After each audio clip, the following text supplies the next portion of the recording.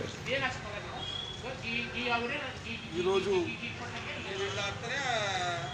మన వ్యవసాయ శాఖ మంత్రి గారు ప్రోద్బలంతోన పోలీసులు అక్రమ అరెస్టులు చేయడము బీజేపీ పార్టీ తీవ్రంగా ఖండిస్తూ ఉన్నది. ఈరోజు మదనాపురంలో రైతు యొక్క వేదిక భవనాలను నిర్మించినటువంటి భవనాలను మన వ్యవసాయ శాఖ మంత్రి నిరంజన్ రెడ్డి గారు ప్రారంభోత్సవానికి వెళ్ళడం జరిగింది. మేము గతం నుంచి చెప్తా ఉన్నాం.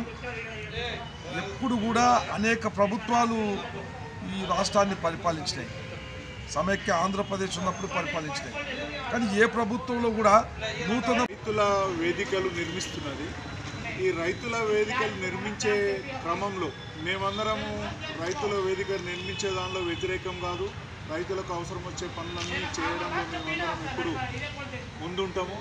మేము రైతుల కొరకే ప్రత్యేకమైన బిల్లులు ప్రవేశపెట్టిన మా కేంద్ర ప్రభుత్వం దృష్టిలో పెట్టుకొని వీళ్ళు వేస్తున్న పని చాలా చిన్నదే మేము దానికి వ్యతిరేకమైతే కాదు.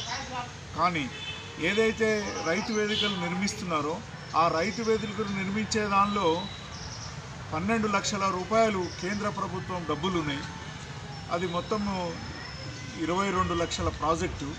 దానిలో పది లక్షలు మాత్రము రాష్ట్ర ప్రభుత్వం ఇస్తుంది. పన్నెండు లక్షలు ప్ర కేంద్ర ప్రభుత్వం